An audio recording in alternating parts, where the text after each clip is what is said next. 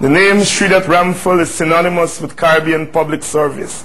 A conversation with one of the most durable Caribbean public servants. Don't go anywhere. Carib Nation is up next.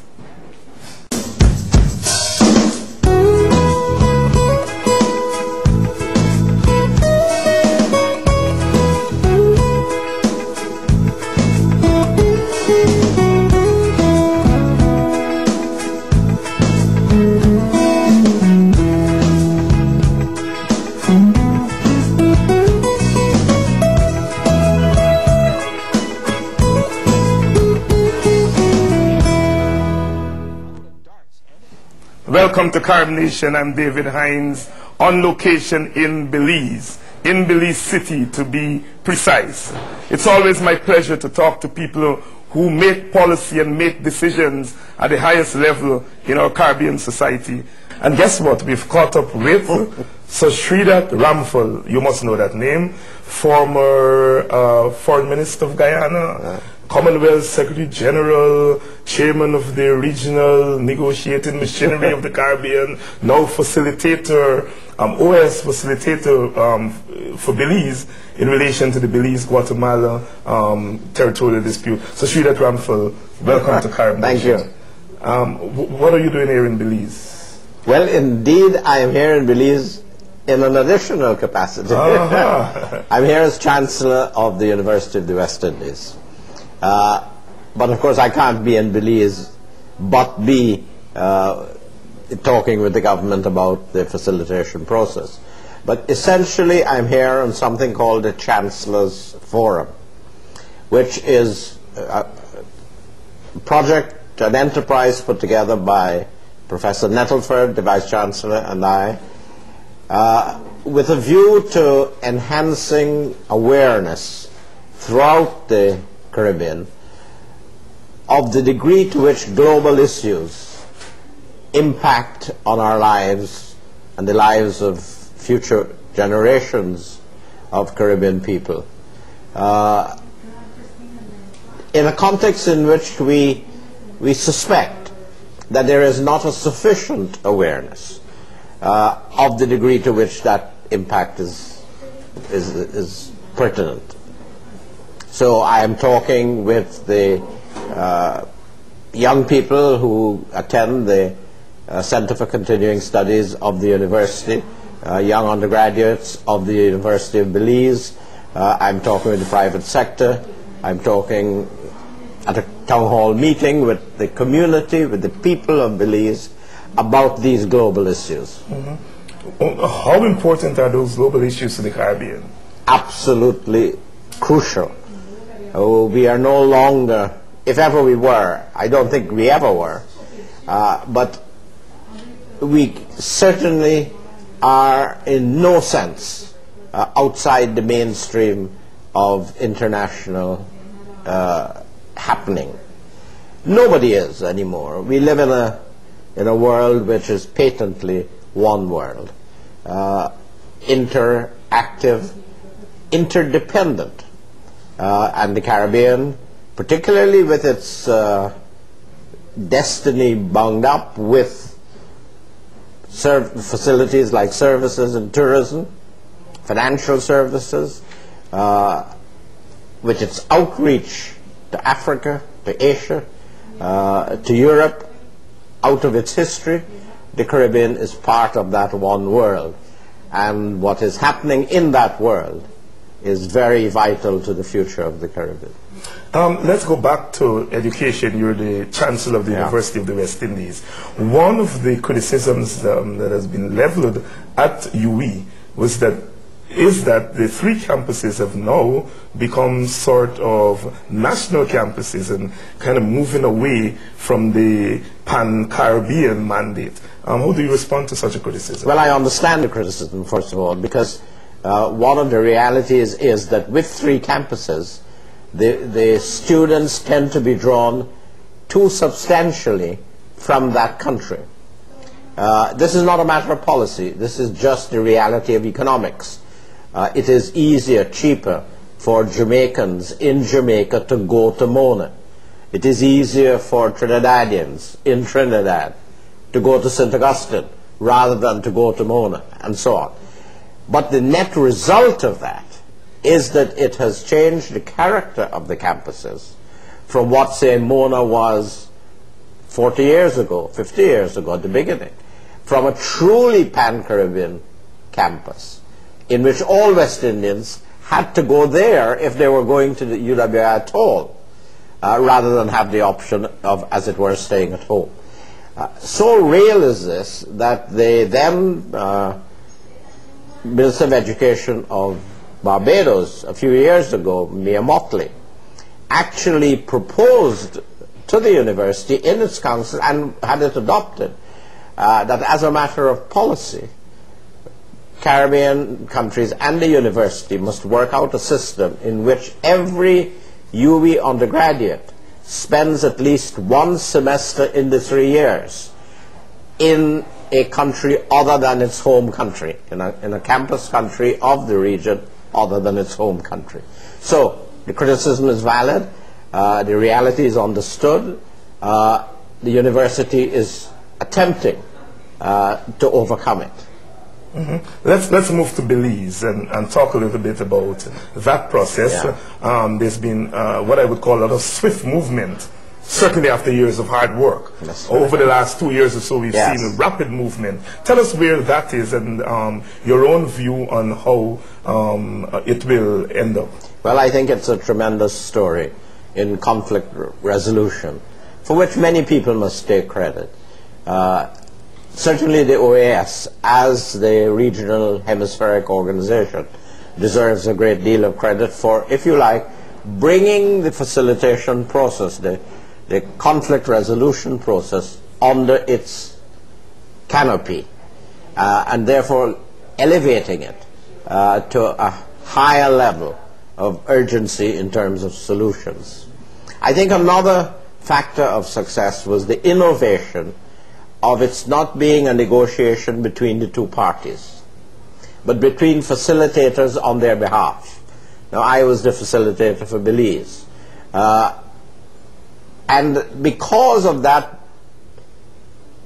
one remove resolution process, uh, it was possible for us to make greater progress uh, than if the parties were confronting each other on each occasion, getting annoyed with each other, breaking off the negotiations, having to start up again, and so on. The facilitators uh, were interposed, as it were, uh, between them. Uh, and the result was, as you say, pretty rapid progress in, in a two-year period. It's not over, but we have reached initial agreement on proposals uh, that are before both governments uh, and that have been negotiated through a process which involves the governments uh, and which now have to be ratified by referenda in both countries. Uh, Belize has just had a national election. Uh, the government has been returned. That was in some kind of way a, a referendum process, but they have to have a proper referendum. Uh, Guatemala is having an election later this year, and so can't get the referendum mixed up with the election, but will have to have uh, a referendum process too. But meanwhile, the OAS uh, is in the process of establishing a presence uh, on the border between the two countries on what uh, we have described in the uh, in the proposals as the border between Belize and Guatemala, which is substantially the line for which Belize has contended. Uh, there will be an OAS presence on that line uh, until the whole referendum process is worked out. Uh, so I think for practical purposes, uh, in terms of Belize, but I believe ultimately in terms of both countries, uh, the process has already advanced the resolution of that conflict to a point of determination. Why do you think the settlement of this problem um, is so important for a country like Belize? Well, it is absolutely vital because uh, an active territorial controversy involving your land is a controversy involving your, your national integrity. Uh, it is not limited to Belize and Guatemala. Uh, it, it is very valid, and very active in relation to Guyana and Venezuela. Uh, and there are rumblings with Venezuela in other contexts in, in the Caribbean. Uh, what it does is to divert human and financial resources from development to, in some cases, defense. Uh, that has happened with both Guyana and, and Belize. Uh, so anything which takes you away from that conflict removes a border quarrel from the agenda, allows you to devote your full attention, full resources to the real problems of development. You're a nationalist in the sense that you um, uh, serve Guyana Yeah. um, in, in public life. You're an internationalist. You serve um, in the Commonwealth and other um, international organizations. But above and beyond all of that, I think that you are a regionalist. Um, and so I, I, I want us to talk about right? I, I, I, I, I like the definition. Let's talk about where the Caribbean region Yeah. is at the moment as it faces the globalization that you've been talking about. Um, one of the things that um, face the Caribbean now is the whole question of free trade, the coming on stream of the free trade of the Americans. And I know you've been involved in trying to work out a Yeah. Good deal for the Caribbean. Talk a little bit about the free trade of America. What really it sets out to do, and how that impacts on the Caribbean, um, negatively and positively. Well, what it sets out to do was not essentially of Caribbean making. It was an American project uh, under President Clinton. And what it set out to do was to apply the philosophy of the WTO to the hemisphere in a WTO plus context. Uh, a free trade area of the Americas is, in a sense, an extension to the whole hemisphere of the NAFTA context, of the NAF- NAFTA concept that brought Mexico and Canada into a free trade area arrangement with the United States. Now we're talking about a pan American uh, free trade area. Uh, now Canada and Mexico is represent one kind of arrangement. They're very, very different countries and economic circumstances of the whole of the Americas is quite another story. And for the Caribbean, where the issue of inequality between our small economies and small populations and vast countries like the United States and Canada and Mexico and Brazil is so stupendous that it is not just a matter of quantitative difference. It involves a qualitative change. And we have to therefore be very innovative. We have to be very careful that what works for Mexico and Canada and maybe for Brazil can be made to work for the Caribbean. But it won't work for the Caribbean unless it undergoes transformation and adjustment. And therefore, for us, negotiation of an FTAA is a much harder task, involves much deeper strategizing and reasoning and argumentation and analysis than it does for countries that can approach parity. Yeah. Um, one of the criticisms of the Caribbean in the past, um, and I suppose recently, is the whole question of the Caribbean maintaining a common stance um, continuously on these issues. We've had instances where some countries have gone off and done their own thing, have um, negotiated unilaterally. How do you respond to that criticism, and how do you think we can overcome it? It is a Caribbean curse. It is a plague. It's a scourge uh, of regional integration. Uh, it is a battle that we have constantly to fight and must ultimately overcome. But you know, we are not alone in this kind of visitation. Europe for all its centuries and, and for all its tremendous strides towards unity, is plagued with the same kind of malaise. At this very moment, Europe is divided bitterly, badly. Uh, and yet, as Europe will, I am certain, find its unity again, so the Caribbean has managed, despite these vicissitudes, to find a large commonality, uh, a large area of unity, which keeps them together. In fact, I believe that today the Caribbean is at a high point of unity. It will never be complete so long as our political arrangements leave us less than united. Because the pressures of national existence, of national government, national politics, uh, will exert its own pressures uh, and lead from time to time to countries seeming to be out of step. But bringing them back in step, remaining West Indian, is something we have managed to do. And I think we always will. Recently, at the last meeting in Trinidad and Tobago, the whole question of political unity raised its heads once again. Yeah. Um, why do you think it came up as an issue at this particular juncture? And uh, are you optimistic about it? Well, I think it is very significant that it came up again. Because what is happening is that from time to time, the compulsions of unity are exerting themselves, are imposing themselves on rational thinking.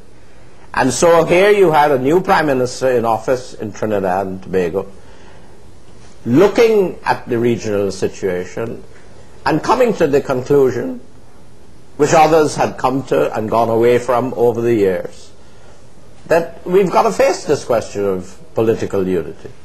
Uh, and we, the sooner we do it, the better. And let's, let's, let's be ready as Trinidad and Tobago to go with whoever is ready to come with us. That kind of thing. Uh, so that discussion in Trinidad and Tobago was very important. I was very honored to have been invited by Prime Minister Manning to attend it as an old timer uh, in, in this battle. Uh, and the very fact that it has happened, whatever the outcome may be, must be a sign of hope for people like me. And I know there are many like me throughout the Caribbean and West Indians abroad uh, who believe that the ultimate future for the Caribbean must be uh, Caribbean nationhood. And certainly when you served on the West Indian Commission, it was one of the sentiments that was eloquently Absolutely. expressed. Absolutely. And very strongly in the diaspora. Exactly, exactly. Um, you, you spoke about Europe um, just now, and um, certainly Europe in the past, uh, certainly since independence, took a different approach to aid um, to the Caribbean, how it dealt with the Caribbean um, in terms of preferences and so on and so forth. Recently, Europe itself has been undergoing some transformation, brought on, of course, by European unity and, of course, the WTO. Bring us up to date on where uh, they are in terms of um, dealing with the Caribbean at this point in time. You know, preferences um, are going away and so on. Well, I think the Caribbean has gone far down uh, in the European agenda. Partly because Europe is itself changed and is changing even more as it admits new members.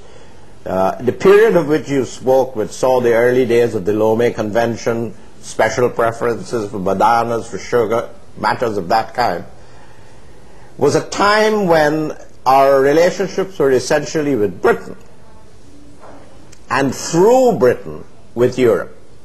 Mm-hmm. That time is changing as Europe has moved from community to union and where the relationship is less with Britain than with Europe as a whole. And that Europe as a whole does not have a sense of commitment to the Caribbean. uh, and the, Europe of the future will have even less. So I believe that we, we face very new and very challenging problems uh, with Europe. There are many voices in Europe which take, which, which, which assert that why should we really be involved in the Caribbean? That's the, the American sphere of influence. Let the U- United States take care of that. Well, that's not very good for us because what we, we don't want a new form of colonialism. We don't want an American hegemony.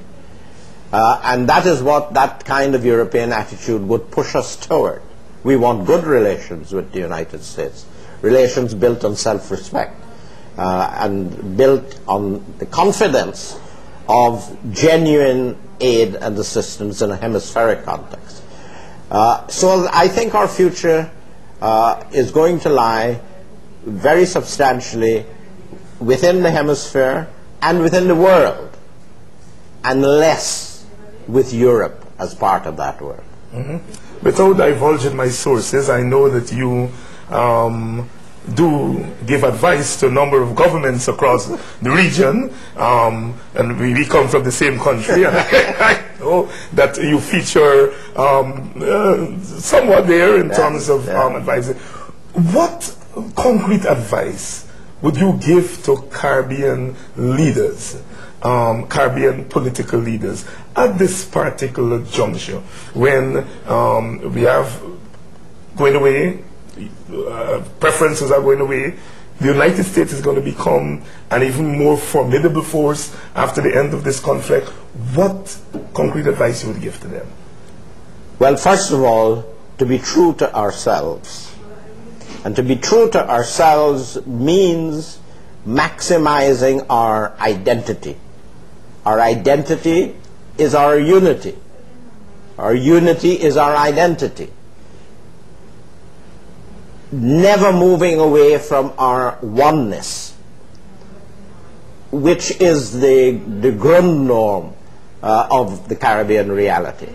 It is when you move away from that that you begin to get into difficulty. Clinging together to each other in a very real way. And that means a whole variety of things. It means deepening Caribbean integration. It means making a reality of the single market an economy. It means abandoning chauvinism.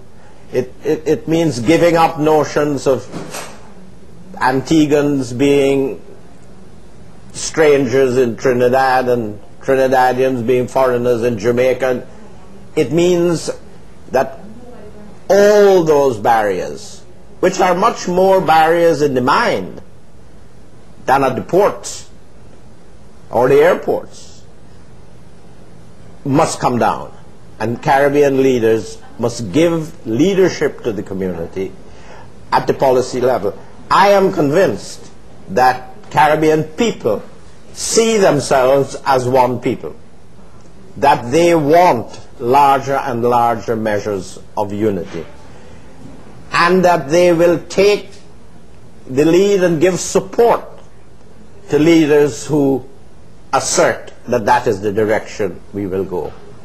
But if a political leadership takes an all too easy kind of political chauvinist kind of position, then populations will tend to follow behind that kind of sentiment for a time.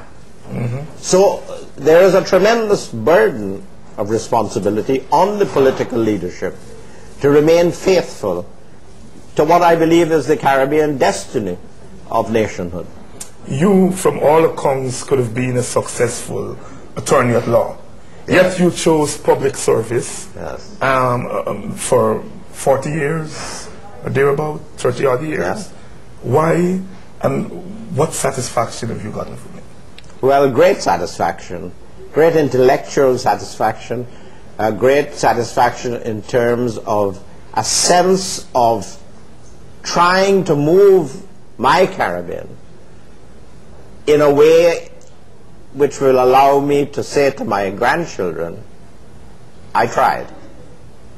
I tried to create a future for you which is better than what it has been in the past. I've had tremendous personal satisfaction.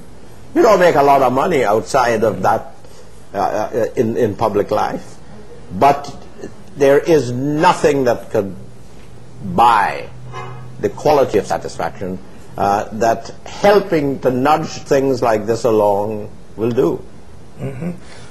Our audience is uh, mainly uh, uh, the Caribbean diaspora in North America, in the United States of um, America in particular. What message, pointed message, you have for them? I would say to them, stay with us. As I would say to us, stay with the diaspora. That was the message, after all, that came out of the West India Commission exercise. We need the diaspora. We, we need it in tangible ways. Those remittances are very important to Caribbean economies. But much more important than that is that we need their strength, their solidarity. We need their voice sometimes in the councils of decision making in the United States uh, to say, perhaps helping the Black Caucus to say, now hold on, the Caribbean is a part of a very special relationship with the United States and must not be jeopardized. And with that special message, Caribbean public servant Sir Shridath Ramphal, it's been a pleasure speaking Great, you. great pleasure to see. Well, I hope Sir Shridath's conversation with me has been most informative to you viewers. Until the next time, this is David Hinds thanking you for tuning in to yet another edition of Carib Nation. And remember, as always, our motto is one people, one culture, one Caribbean, one nation.